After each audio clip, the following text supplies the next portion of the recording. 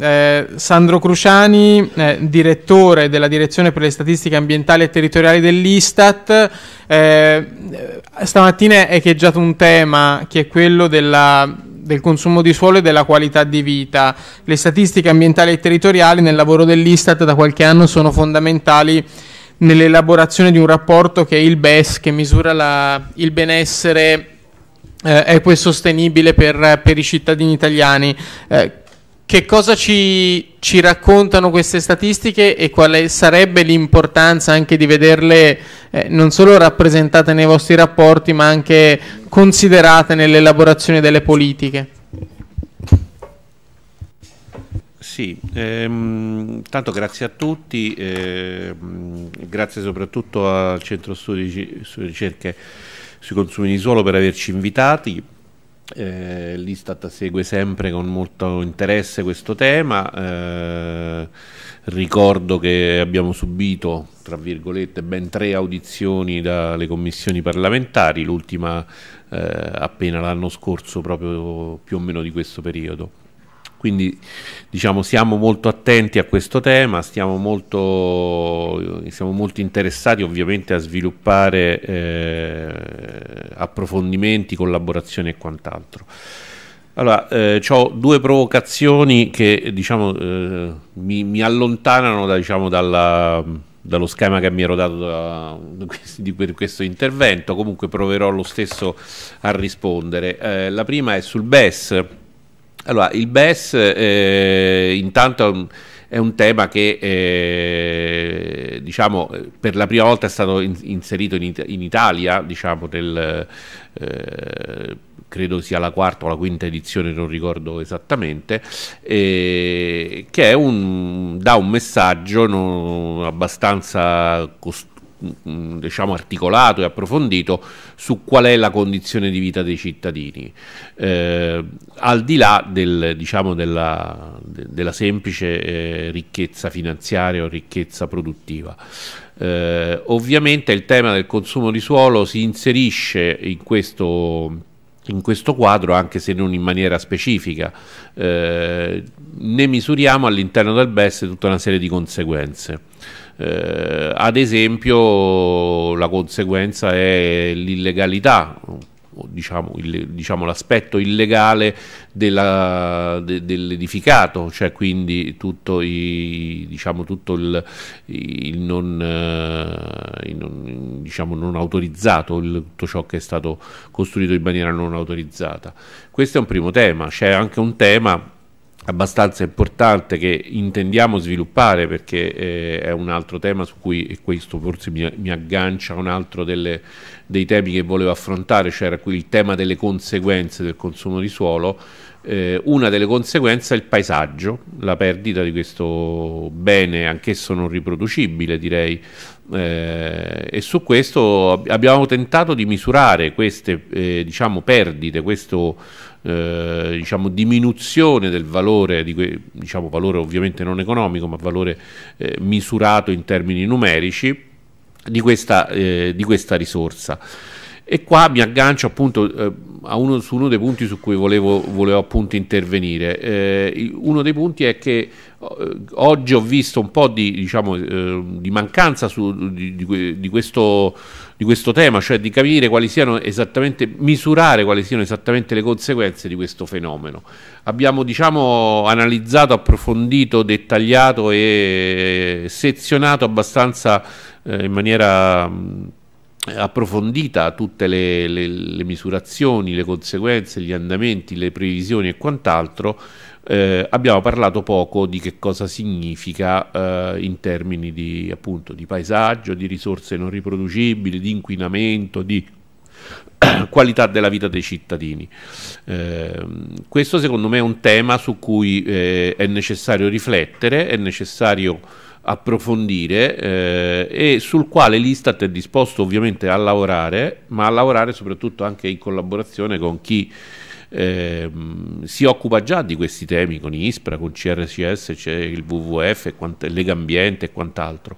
Quindi è un tema su cui, e, e, e qua mi, mi, collego a un'affermazione che è stata fatta, non ricordo da chi, sul fatto che diciamo, stiamo lavorando tutti quanti in maniera troppo verticale e dovremmo forse ampliare eh, gli scambi orizzontali tra istituzioni. Su questo eh, l'Istat si trova assolutamente disponibile e si trova disponibile anche ad affrontare altri due temi, eh, poi raccoglierò anche la provocazione di Marchetti. eh, questi due temi, eh, uno riguarda, eh, ed è stato già diciamo, in parte ampiamente eh, discusso, affrontato, è il tema delle classificazioni e delle definizioni. Questo forse probabilmente eh, è un tema che vede l'Istat in una maniera un po' rigida, diciamo, quindi molto metodologicamente molto solida, però è un, un, tema su cui non possiamo fare a meno di ragionare. Eh, qui parliamo, abbiamo parlato di lanteche, di impermeabilizzazione di consumo di suolo e, e quant'altro. Il problema è che tutte queste definizioni poi generano inevitabilmente misure differenti. Allora, io, eh, è chiaro che la comunità scientifica deve continuare a dibattere su questi temi, confrontarsi senza nessun diciamo, velo, eh, ma è anche vero che prima o poi bisognerà arrivare a un, non voglio dire una definizione condivisa, ma quantomeno de, eh, delle definizioni coerenti, con se, almeno se non altro con se stesse, e che generino misure altrettanto coerenti. Eh, quindi questo è sicuramente un primo tema. Noi ad esempio sul, sul tema consumo di suolo eh, riteniamo che eh, diciamo, l'approccio eh, sull'impermeabilizzazione è un approccio corretto oggettivamente, tecnicamente ineccepibile, che però per le sue, se vogliamo poi analizzare le conseguenze sociali, economiche ed ambientali, sia forse un approccio che porti a una sottostima del fenomeno. Allora, pensiamo ad esempio a tutte le aree intercluse all'interno di, og di oggetti edificati. Quelle sono aree che noi eh, dal punto di vista di impermeabilizzazione probabilmente saranno, sono oggettivamente, magari possiamo considerarle aree verdi o comunque non eh, sigillate, ma dal punto di vista della, della vita e della qualità della vita delle, delle, persone che vivono in quelle aree sono inevitabilmente aree perse, aree perse che non possono ritornare al loro naturale alla loro naturale destinazione d'uso. Quindi eh, probabilmente saremo destinati a una, sotto, a una, sovrastima del fenomeno rispetto ai, ai numeri che diciamo, eh, abbiamo visto in questi giorni, abbiamo visto anche in passato. Considerate anche, e qui faccio una breve, rapidissima, rapidissimo excursus, considerate anche però il tema della morfologia del territorio italiano. Allora, il territorio italiano, noi lo, eh, sono circa 302.000 chilometri quadrati, 30 milioni di ettari grosso modo. Allora, questo territorio non è un territorio uniforme, è un territorio che si presta diciamo, al consumo di suolo, per così dire, in maniera assolutamente differente. Allora, qui stiamo parlando di un territorio che ha grosso modo un circa un 32-35% di, di, di, di aree montane. Quindi queste cifre che noi diciamo eh, andrebbero assolutamente, forse sono anche più preoccupanti, ma andrebbero sicuramente lette al rialzo perché non stiamo parlando del 7,7% di territorio consumato se lo rapportiamo a 300.000 km quadrati. Eh, saranno decisamente di più se lo rapportiamo a un territorio a cui abbiamo levato tutte le aree non edificabili o non consumabili, eh, aree umide, superfici lacuali e quant'altro non stiamo parlando di poca superficie, quindi stiamo parlando di numeri che andrebbero, come dire, tra virgolette, eh, rivisti e eh, diciamo resi anche più eh, coerenti con la realtà.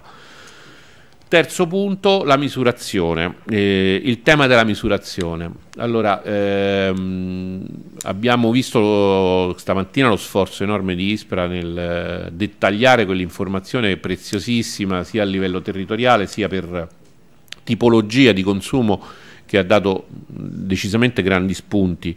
Eh, però io aggiungo anche un altro elemento a cui noi secondo me non, non dobbiamo rinunciare, la comunità scientifica non deve rinunciare, ed è il eh, collegamento, stretto collegamento tra territori consumati e eh, obiettivi di questo consumo. Che cosa ne abbiamo fatto di questo territorio? Chi ci sta vivendo? Ci sono imprese, non ci sono imprese, eh, eh, inquinano, non inquinano eh, per- le persone che vivono in queste aree, co- come vivono, in che maniera. Insomma, ci sono tutta una serie di, eh, di ragionamenti che non possiamo fare semplicemente osservando da sopra che cosa è successo. Abbiamo consumato tanto suolo, va bene, ok, ma come l'abbiamo consumato? Per farci cosa? Questo è un, è un altro elemento, quindi il link stretto, la connessione diretta, stretta tra territorio e eh, attività antropiche, chiamiamole così in, in termini generici, quindi eh, l'attività dell'uomo, delle, delle, famiglie, delle imprese, eh, la costruzione di infrastrutture, non possiamo abbandonarla, non possiamo lasciarla uh, e far finta che non esista, insomma, cioè noi dobbiamo conoscere anche cosa sta succedendo su quei territori che abbiamo consumato. E, ehm, dunque, cosa sta facendo l'Istat su questo tema? Potrei dire molte cose, però immagino che eh, il nostro moderatore mi sta già eh, riconducendo all'ordine. Eh, raccolgo semplicemente con una battuta la provocazione di Marchetti. Eh, stiamo facendo, eh, cercando di portare a casa questo, proprio esattamente questo risultato. Eh, abbiamo avviato un processo di modernizzazione dell'informazione, stiamo cercando di poligonare in maniera dettagliata il territorio e metterci sopra le persone, le imprese, le istituzioni, le, eh, le infrastrutture, tutti gli oggetti statistici che generalmente misuriamo. Facendo come? Eh, cercando di, di, di, lavorare integrando archivi amministrativi e sia da fonti di indagine, ma soprattutto attraverso una geolocalizzazione precisa dell'informazione statistica.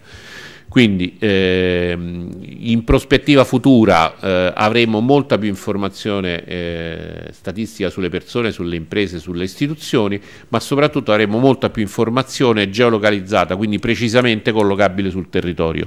Questo credo che è un investimento enorme che stiamo avviando e che credo porterà dei risultati per tutta la collettività scientifica, non solo per quelli che si occupano di consumo di suolo, ma sicuramente daranno un, un impulso mettendo eh, a confronto, come diceva Marchetti, copertura e uso del suolo, l'uso è già più difficile, ma sicuramente la copertura eh, è, un, è, un, nostro obiettivo, copertura del suolo e soggetti che operano su quel territorio. Mettendo insieme queste informazioni credo che si aprirebbe una nuova stagione di lettura del territorio e soprattutto spero di politiche attive sul territorio. Grazie.